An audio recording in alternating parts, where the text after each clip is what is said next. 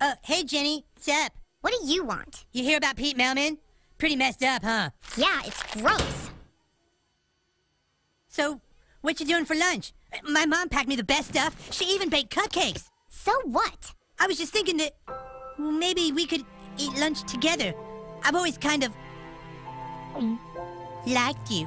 I don't like you. I know. I know you don't like me back. I just, yeah, you know, this was stupid. I'm sorry. Would you just take the cupcake?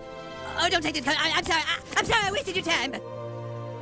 Hey, wait. Look, I'm sorry. That was mean. I'd love to try one of your mom's cupcakes. And now, number 17, many of you got wrong as well. The correct answer was D. Whales are mammals. Uh, They're not fish like You're some of you Jenny? retards yeah, show. I'm fine. I just. Uh, Mr. Garrison, can I please be excused? Excused? Oh, oh, but we are in the middle of class. Uh, What's the matter? I just need to go to the restroom. Well, okay.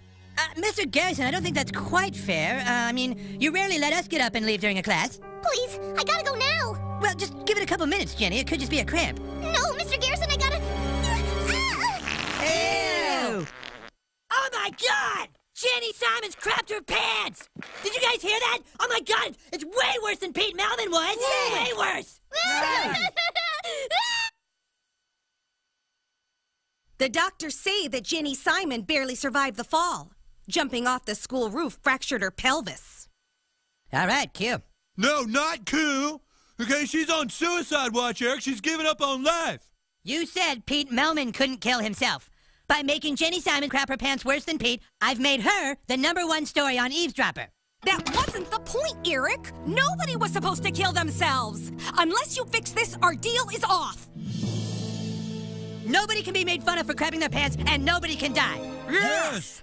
Jesus Christ.